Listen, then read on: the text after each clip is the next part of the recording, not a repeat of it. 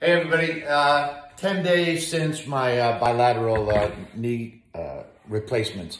Um, I just want to bring you up to date on something that it's not a cakewalk. If you go through these procedures, while you might be progressing at a, a certain rate that you're very happy with, things do go wrong. Today was my friggin' day. Uh, I've been on this diet using this powder called Ka'Chava. It's a plant-based uh, uh, powder meal substitute that I've been using at breakfast or lunch or dinner sometimes. Um, just to drop some pounds and get some really good nutrients in my body.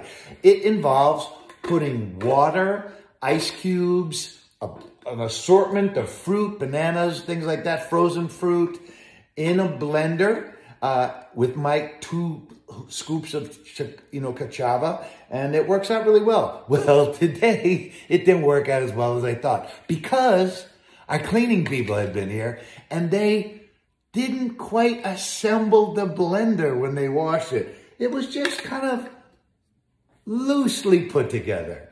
And so I filled it with my ice cubes. I put the water in. I added cranberry pomegranate juice. I put some frozen mango chunks, some blueberries. Then I was just getting ready to bring it back to the blender when boom, the whole bottom came out. and I said more curse words that I've never even used before than you could imagine, and at a higher volume, which got my son into the room in about five minutes. You know, he, he thought maybe I broke a hip. That's worth five minutes. If I had a heart attack, it could have been 10 minutes. All I'm telling you is be patient with your recovery. Uh, uh, I finally cleaned up this friggin' mess that's in my kitchen, uh, and I'm still healing. Uh, so good luck to you all. Uh, I'm going to tell you this can be done. Do the work ahead of time, during, and after, and you will heal. Peace, everybody. Thanks.